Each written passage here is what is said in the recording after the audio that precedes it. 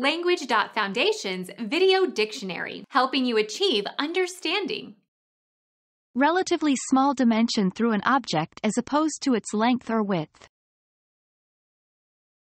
The thinness of a rope. Slenderness, tenuity. The property of having little body fat.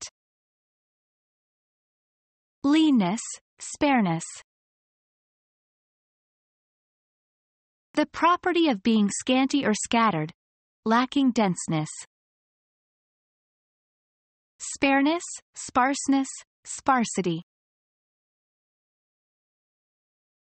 The property of being very narrow or thin. Fineness. A consistency of low viscosity. He disliked the thinness of the soup.